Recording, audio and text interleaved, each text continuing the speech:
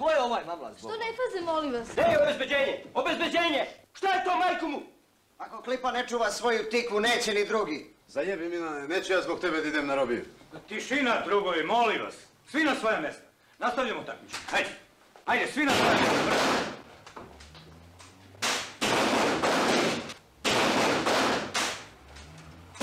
Pa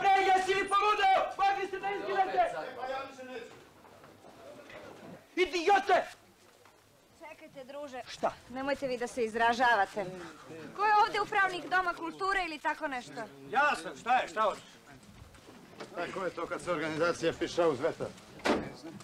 Pa, rekli mi da ste ovdje ili tako nešto. Mislim, šta je s mojim angažmanom? Dolazi Neđmija Fagaruša, već je dogovoreno. Pa znala sam ja to. Ali šta je, ajde, šta zijat? Ajde, ajde na svoje mjesto. Ajde.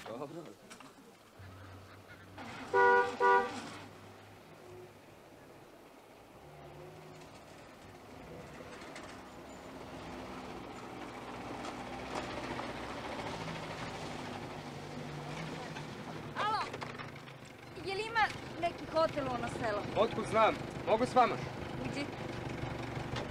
A? Zeznuli te, a? Ma, ne živciraj se, a i nagrade su im put u Grčku ili tako nešto. Trc. Šta čovjek da radi u Grčku? Ajde, Luto. Ajde.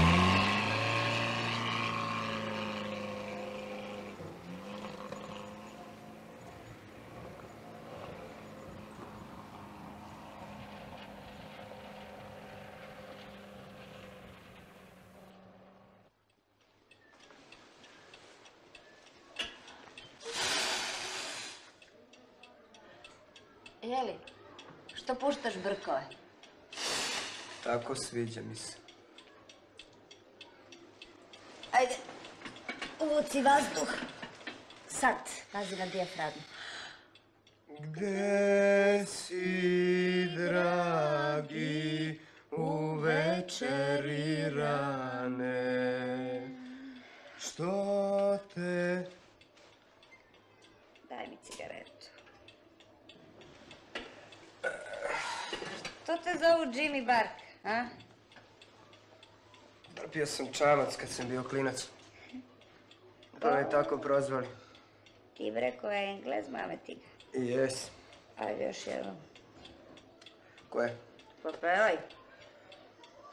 Gde si, dragi, u večeri rane, što te ne... Šta se smiješ? Šta si navalio na pevanje kad nemaš veze? Otkud znaš da nemam veze, a?